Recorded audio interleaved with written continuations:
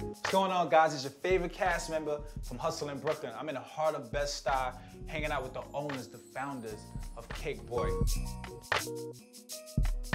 I remember I drove past one time and it was like somebody giving out samples, and that's like, like I didn't even know it was like black-owned young entrepreneurs doing it, you know. And I was driving by and she gave me a sample. Amazing, amazing. That's the type of things you gotta do to kind of, you know, drive in the community, let them know we're here. And we're here to stay.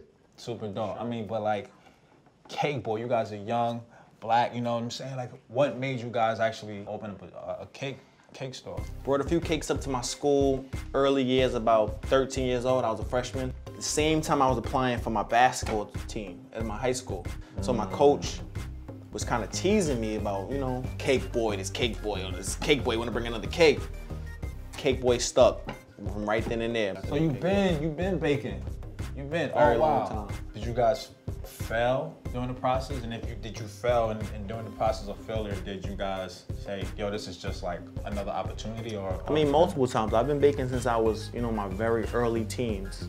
People come to me all the time. It's like, this is not the way, bro. You want to make some money? I'll show you how to make some money. what kept you going or what like not to cut you off, like, but I mm-hmm. really want to know like what what separated you? What, what made you be like My nah. mentality, I always had the hustle mentality. I just knew prison was always involved if I was to go that other route. Right, you know, right, I was right. born into somewhat of a crime family. My father's been incarcerated for a very long time. I only mention him to say he was the reason I got into baking in the first place. He embedded in me the skill of baking, so I just continued with that. And yeah, I just now we're here. We got you know our own establishment. Dope. Now we're here. Wow. You guys picked the designs and everything? It was a process of going through different things, mm-hmm. just to kind of see what type of vibe we wanted, what type of vibe was kind of, would go hand in hand with Brooklyn. We didn't want like a Manhattan style bakery in the heart of Bed-Stuy. Speaking of which, you guys got Biggie on the actual cookies. Like that's that's dope, man. How did this come about? It's Bed-Stuy. I just we, we just want to pay homage to those that came before us and spread love. It's the Brooklyn way, you know. Dope, dope, dope. Came to the back to check out a little bit of the process. This this doesn't happen all the time. My name is Celeste. I am the co-owner for Cakeboi. I am Cake Boy's wife and the cake decorator. Pretty much everything. I do everything. The big homie. What are some of the things that you gotta do, assist, or like help out with? Um, I mean, it's so much. It's a small business and it's not a lot of us. We don't have like a big staff, a big team. We're growing. So um, cleaning, everything. All hands on deck. So cleaning, uh, cutting the cakes, decorating the cakes, making sure that when we're done with the cake, we're taking a picture of the cake, just everything. If you would have told me 12 years ago when I met him I would be helping him with cakes, Nah. nah. but it's dope. That's super amazing. Yeah, it's different, so. What advice would you guys give to like our people, you know, that are actually trying to start a business? Like, Right. like what advice would you guys give them?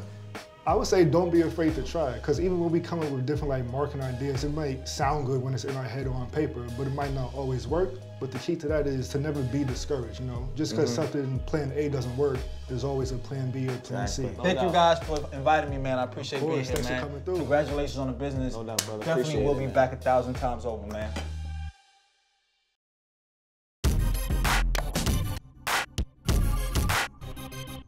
Hey, what's up, guys? It's Jesse from the new series Hustle in Brooklyn, and I'm here in Bed-Stuy at Jordan Heads, and I'm about to chop it up with the founder, Calvin, about his hustle and a few keys to success when it comes to owning a business. Why did you feel, I guess, the need to start a business? because I kept getting fired from my jobs. Same. And uh, yeah, it's, uh, it's a real deal. Same. I've, I've learned from a lot of different entrepreneurs that that was one of the things that was the catalyst to create their own lane. What were some of the hurdles that you over, like had to overcome when developing your business? Raising the capital is um, number one. You can easily get it from uh, a Suge Knight-like character, Right. but that's not the way to go. So I had to ask family, friends, some strangers, if you will. You got to be crazy. Yeah. You know, I, I remember um, watching Steve Jobs talk about being crazy and uh, loving what you do. I can easily go back and work in that field of nine to five, whatever happens. Absolutely. but that would drive me crazy. This is driving me crazy, but at the same time, the rewards are much sweeter than just getting a paycheck from me. How did you necessarily overcome the fear of, you know, just stepping out there on your own? I'm a filmmaker. I'm an artist, if you will. Um, Okay. That's my first form. That's my first passion, my first love. Um, I used to work for Spike Lee many years ago. I started started off as an intern and worked my way up as an assistant. It was a, it was a serious school of hard knocks. Fast forward, my, my passion level was to create, to, to keep filmmaking, to, to be a filmmaker. So I directed my own music videos for different artists. And this is pretty much an extension of, of that. I really don't think about the fear aspect of it. I just jump out the window. It's like that's that's just me. Mm-hmm. I'm getting the fear now mm-hmm. because I'm in the thick of it. But when you're going into it, it was like, I'm I'm this is me. I'm I'm gonna I'm gonna have a store. What's your, I guess, first pair of Jordans that you ever you ever had and that made you like fall in love with the whole idea of collecting sneakers and buying and selling? The first pair of Air Jordans that I ever owned was a pair of infrared sixes.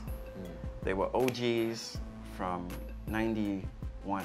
How I got them, I didn't buy them in the store. They were used.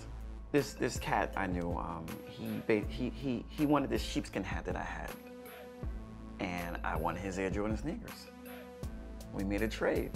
The sneakers, however, they were size eight. I have a small foot. I'm a, I'm a size seven. I didn't care. I put them suckers on. I wore them proudly. They look really way too big on my feet.